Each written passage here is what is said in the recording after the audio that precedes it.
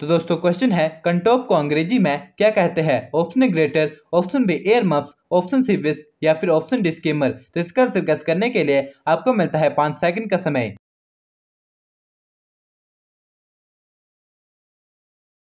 तो इसका आंसर होगा option number B earmuffs कंटोप को अंग्रेज़ी में ईयर मप्स कहा जाता है। तो क्या इससे पहले आपको इसका मीनिंग पता था कमेंट करके ज़रूर बताएँ।